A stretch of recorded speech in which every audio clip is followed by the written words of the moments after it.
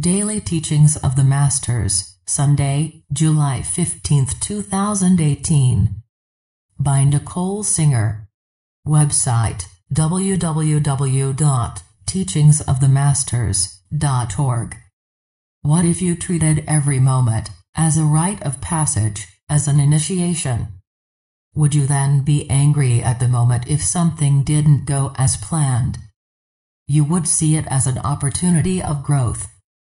Treat every moment as an initiation into a higher state of consciousness as you continue to merge with your divine self. And so it is.